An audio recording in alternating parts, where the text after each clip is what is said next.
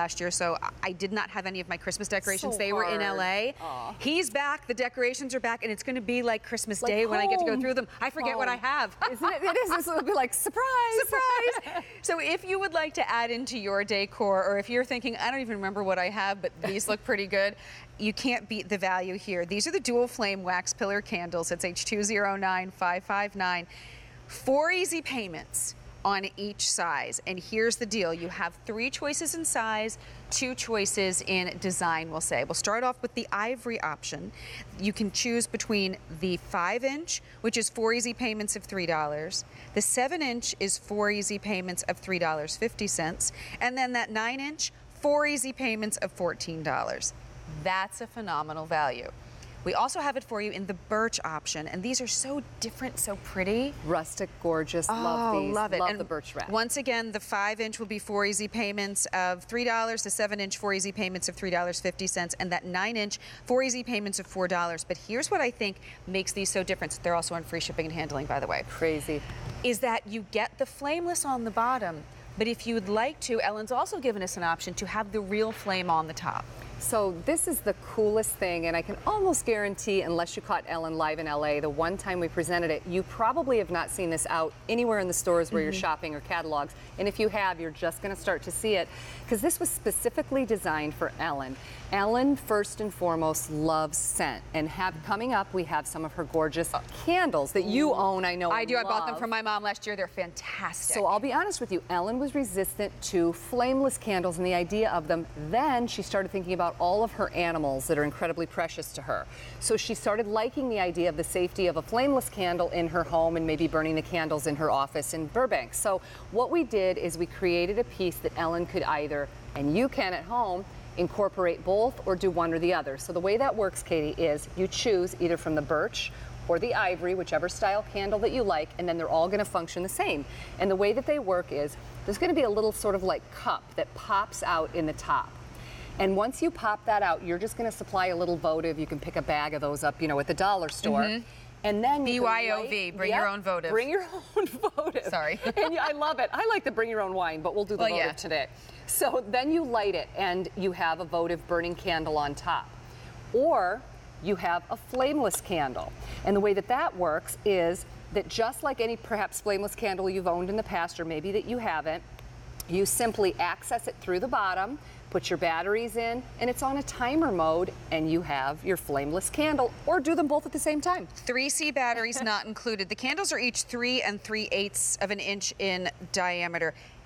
The ivory is the most popular choice in all three sizes. But this is when you, I just think it's so different. And when you get that glisten and you know the kind of that flicker from the you know faux part of the candle, and then on top you get the real candle.